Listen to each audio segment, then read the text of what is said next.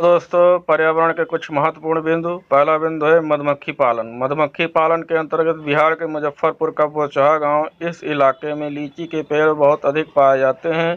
लीची के फूल मधुमक्खियों को बहुत लुभाते हैं, इसलिए इस क्षेत्र के लोग मधुमक्खी पालकर शहद बनाने का काम करते हैं। मधुमक्खी पालन को एपी कल्चर कहते हैं। अक्टूबर से दिसंबर मधुमक्खी के अंडे देने का समय होता है। और यही समय मधुमक्खी पालन शुरू करने का भी सही समय होता है। लीची के फूल फरवरी में खिलते हैं। मधुमक्खी के हर छत्ते में एक रानी होती है। छत्ते में कुछ नर मक्खी भी होते हैं।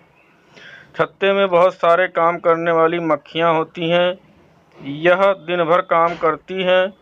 शहद बना, शहद के लिए फूलों का रस ढूंढती हैं। जब किसी मक्खी को रस रस मिल जाता है तो वह एक प्रकार का नाच करती हैं, उससे दूसरी मधुमक्खियों को पता चल जाता है कि रस यहाँ पर है।